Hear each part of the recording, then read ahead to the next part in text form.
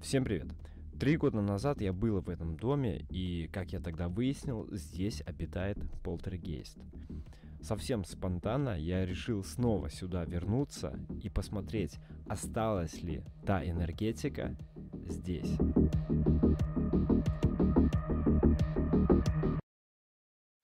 Итак, друзья, только что провел ритуал со свистком смерти.